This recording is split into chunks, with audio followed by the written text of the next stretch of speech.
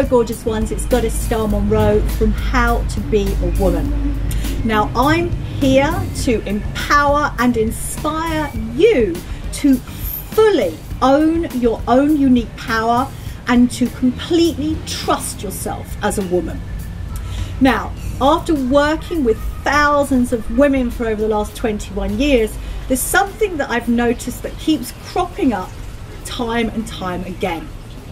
And I've named this thing poison ivy. What is poison ivy, you may ask yourself? Well, poison ivy is when we start to compare ourselves with others and also start to feel jealous of others. So, what I found is really powerful is to name this trait, and then when you name it, you can own it and you can accept it and move through it.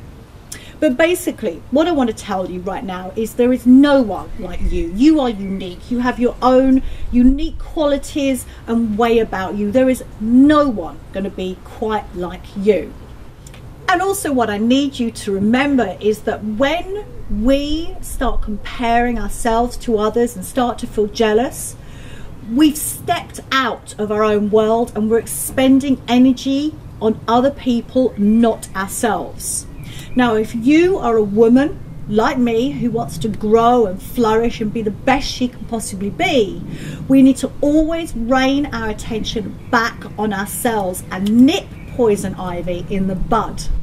So, again, you can take poison ivy, start to recognize when you are elsewhere and not in your life and focusing on you, and try to stop her instantaneously because it will give back you your power.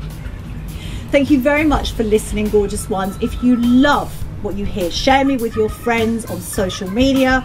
And if you want more of me in your life, then subscribe to me now. Thank you very much.